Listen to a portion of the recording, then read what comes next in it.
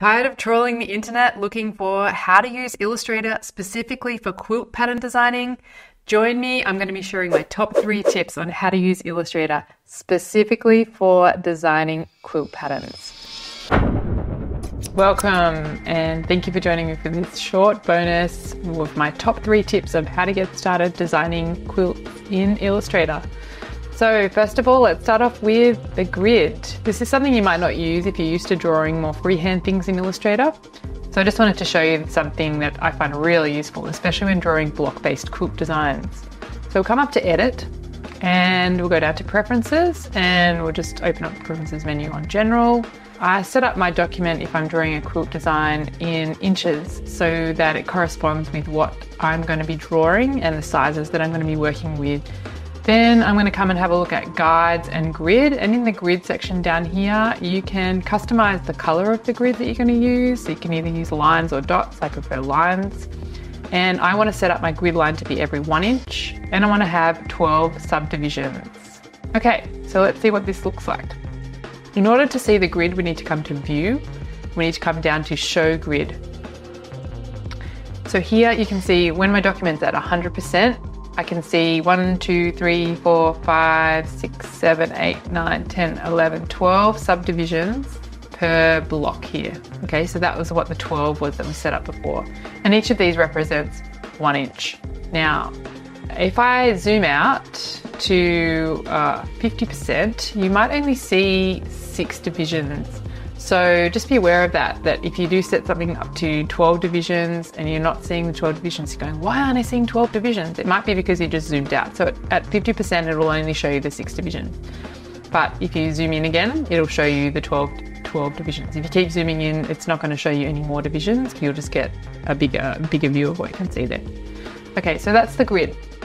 The other thing we want to do is come up to view and we want to select snap to grid. So this will ensure that any shapes and lines and things that we're drawing for our block-based designs will snap to the grid and this makes it so much easier to work out your uh, pattern later on as well. What I want to do is show you the divide below tool. So I want to maybe draw, let's say we'll draw this sawtooth star together. I'll show you that from our um, exercise before.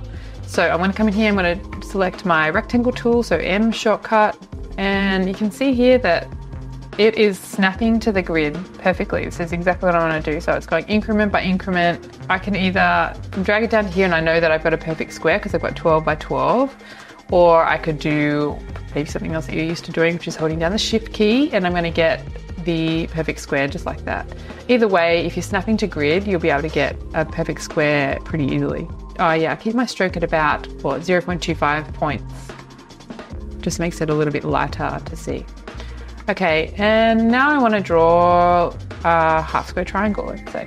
So I'm going to get my line tool and I'm going to draw from this corner all the way down to this corner. You see as I'm moving, it's trying to snap to all of these points, which is what we want. But what I really want to do is to snap it right down to that point there. Now with this line selected, I can come up to Object, Path, Divide Objects Below.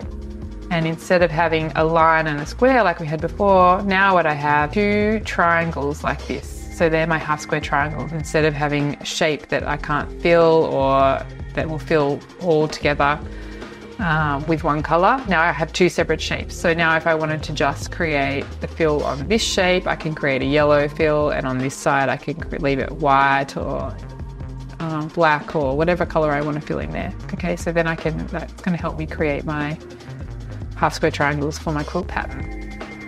So we are kind of still working at this big scale here. So what I want to do now is just to do a quick drawing of the block that we were looking at earlier, the sawtooth star. We'll just draw it at full scale so you guys can see how I would do this. Okay, so here we've got our square in the middle Okay, now I'm going to draw my 3 inches by 3 inches half square triangle. Here we go. And I'm going to go Object, Path, Divide Objects Below, and I've got my two half square triangles here.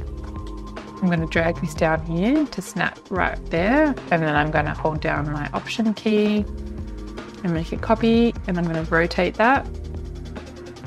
And I'm going to copy these two together and I'm going to hold down my option key and drag them down to the bottom. And they're snapping as you can see and then I want to rotate this as well because we want our half square triangles going in the other way. I'm going to select both of these sets now of half square triangles. I'm going to hold option, drag them across over here. I'm just going to rotate them and drag them back again. V. There we go, snapping straight in there. And there you go, we've got our beautiful half square triangles. So I'm going to select all of these shapes, all selected. And I'm change all these to black. So now I've got my sawtooth star block and I can start I can start duplicating this block to start making my quilt pattern. And then I'm going to show you this select same and how that's powerful. So here we go. I'm going to select all there and I'm going to hold down my option key and drag it across and see it's snapping and I want it to snap obviously right next door. Command Control D, Command D, uh, and I can get that to go repeating across there. And again, same thing, I'm going to do my option, drag it down, and still snapping to grid. You can hold on to the shift key as well to make sure it's in line, but it's still snapping to our grid. Then I'm going to go Command D a few times as well, and we've got our cool pattern. And there we go, we can see that on this cool block, we're going to have one, two, three inches, three inch half square triangles, and in the middle here, we've got a six inch block. So I can count the number of grid squares that I've got. And that really helps give you a shortcut for when you're trying to count up the number of squares that you've got to have. The last tip I wanted to give you guys was on select same. So you can do it with the magic wand tool. You can come in here and you can select the black and change the appearance of that pretty easily. The other thing you can do is you can come in and if it's no fill there, what you can do is you can select this big square in the middle. Unselected.